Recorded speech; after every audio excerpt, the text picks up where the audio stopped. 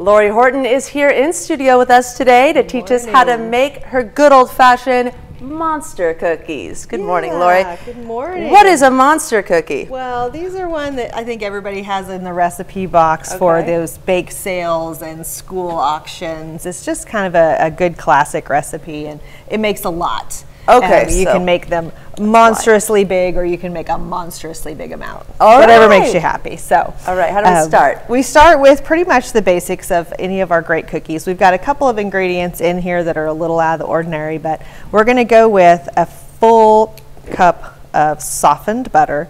And you can see it's not obviously not melted, just nice and room temperature soft. Mm-hmm. And we're going to add to that some white sugar and some brown sugar. Classic. Mm-hmm. So classic. It's going to make these nice and soft and chewy. And we're going to cream that together. I'm not going to make a lot of noise with my mixer right now, but we're going to work on creaming that together and make it really nice and fluffy. So we want to get those sugars and that butter really incorporated. My butter could be a little bit softer this morning. It's not. Yeah, uh, you it's know, cold in it's the a little cold here. in here. It's a little hard to work that back and forth, but you're going to leave that out at room temperature for a little bit. Just be careful if you microwave it to soften it, don't melt it. We That's right. Use that uh, defrost cycle on your microwave. So after we get this really nicely incorporated, we get both of those sugars really creamed in there and get this a really fluffy texture. We're gonna add to that a full cup of vegetable oil. And this is something that we really don't have in a lot of cookie recipes. Yes. But again, this is going to keep it really soft and fluffy, and it's just that additional fat. Instead of two whole cups of butter, Got it. A cup of butter and a cup of oil. Okay. So we're going to incorporate that in with that. And then we're also going to add a couple of eggs after we get that mixed in. So just kind of do it one step at a time. Okay. Add that one ingredient, make sure it's really well incorporated before you go on to the next one, and just a little bit at a time. So we are going to slowly mix those in. You can add your eggs both at one time. You don't have to step those in like some recipes, but again, always with the large eggs. We want to have our good full large eggs with any recipe when we bake, All right. right? This and then seems like a pretty wet. it is. I mean, I know we haven't added the, the dry stuff, but compared to uh, what we usually do, Yeah, it's a very wet. it's a very soft, a very creamy start to our cookie dough. So Mm-hmm. a little out of the ordinary. But we want to keep in mind, and this is why I have the really big bowl this morning, we're gonna make a lot. So when we get to those dry ingredients, you'll be surprised at how much is in there because we'll set this aside for just a minute. We're gonna start with three and a half cups of flour, which Oh, is wow, that is a lot. quite a bit. And we're That's why it's adding to that monster. monster size. We're going to add to that our little bit of baking soda, cream of tartar, and salt, and we'll whisk that in. And then when we come back, we're going to incorporate all these ingredients together, and then we're going to add all the extra goodies that really make the monster cookies Love a it. monster. All right, thank you so much. We'll stick around. We got more news coming up right after this. The Ozarks. It's more than a place. Compassionate. Quality, compassionate, affordable care. Welcome back. Now, Lori has been showing us her recipe for good old fashioned monster cookies. Last segment, we had the butter, the sugar, and the eggs all mixed in. Yes. Now, what's next, Lori? All right, so we've creamed together all of our wet ingredients with those sugars. And remember, we used the white and the brown sugar. So this is going to be a really nice, chewy cookie. We've also whisked together in our other bowl flour, cream of tartar, baking soda, and a little bit of salt. And the cream of tartar is the one ingredient that's a little bit unusual, but you'll find it anytime you want a really soft cookie. And what that does is it keeps that sugar from crystallizing. So that's when you get a crunchy cookie. You add that cream of tartar, doesn't happen. Science. You get, I, it's crazy, you know? So we're gonna just finish whipping together our wet ingredients here. Make sure they're really good and creamy. And again, this is kind of almost looks like cake batter at this does, point. It's yeah, really it's soft. It's very, very thin. So that's why at this point we are gonna start adding to it those wet ingredients or those dry ingredients a little bit at a time. Because we did also add the oil too. I forgot to. We did. We added Oil an butter. Uh, entire cup of oil, a couple eggs, and again, that whole recipe is going to be on our KOAM News Now app, so you don't have to worry about getting that written down.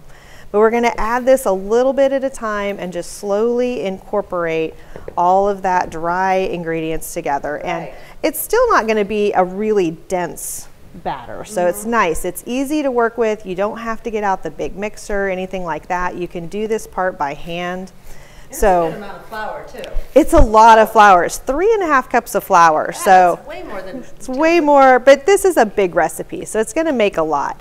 And that's why I think this has become such a popular recipe because this is that time of year when all of the school carnivals are starting to come about, those bake sales, yes. all the spring fundraisers for the kids stuff. And this is a great recipe. You can make up a bunch. They freeze really well, so you can do these up ahead of time when you have a minute on the weekend. But also, not a lot of out of the ordinary ingredients. So when the kids hit you with that Sunday night, oh my gosh, I've got to have something at school tomorrow. You've probably got pretty much everything you need in the cabinets to, you know, round these up and get them going and have them ready to go for the next day. So once we've done about three rounds of those dry ingredients and getting them fully incorporated, the last step that we're going to have is to add all of our good stuff to it. So this is a pretty plain old boring bit of dough right here at this uh-huh. point. And what we're going to add to it will be all of our fun stuff. And so what I've got here is a mixture of Rice Krispies, coconuts, chocolate chips, and oats, just plain old oatmeal. So all kinds of good stuff. And you can really customize that. A lot of people like to add mini M&Ms. You can add different flavors of chocolate chips. You have in your cupboard. Whatever you got, throw it in there. We'll do that when we come back. All right, stay tuned. We'll be right back with the final, final episode of this. This is your free at-home estimate. If you want the best for less, call Windows for less.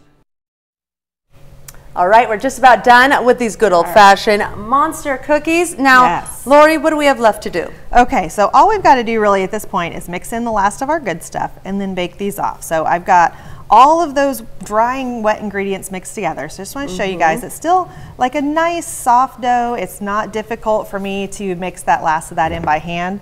So all of my other goodies, I'm just going to dump in here.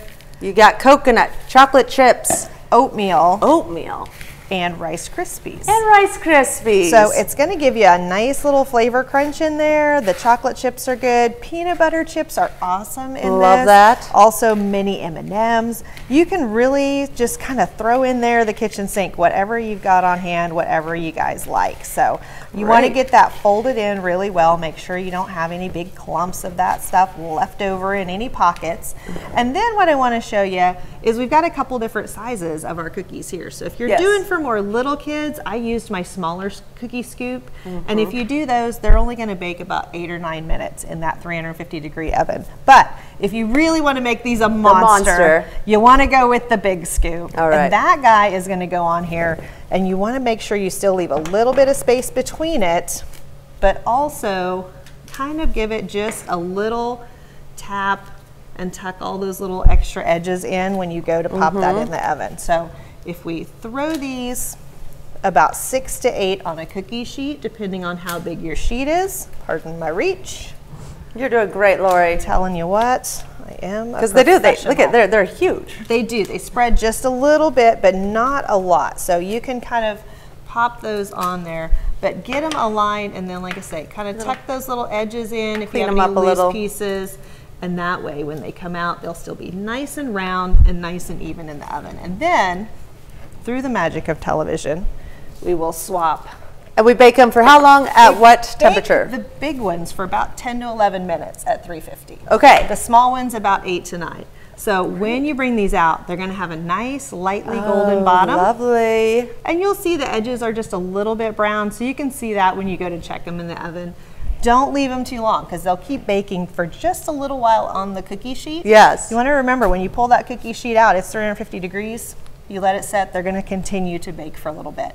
Again, I always like to use those parchment liners, keep your cookie sheets a little bit neater, but it also helps distribute that heat a little bit as well. So Absolute- I mean, once just- you once you bring them out, let them set for a few minutes, transfer them over to a oh, grate or any kind of a, a cooling rack that you might have.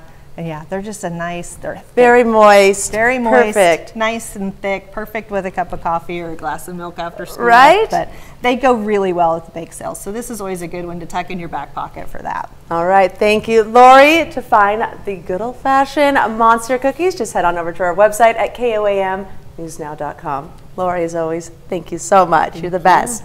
All right, we'll be right back with more news right after this.